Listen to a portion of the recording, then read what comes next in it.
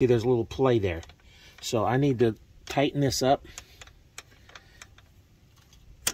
There we go. It's getting a little bit harder to turn. So I'll, I'll tighten that up.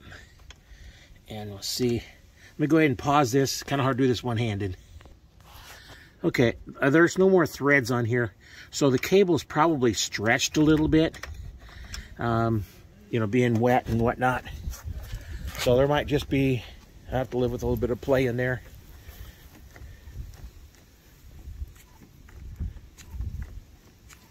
But it is looking like it's stopping it. Yeah, I can I can turn this wheel here because it's a positive traction. So I can turn that and it does stop it. So it does it does stop.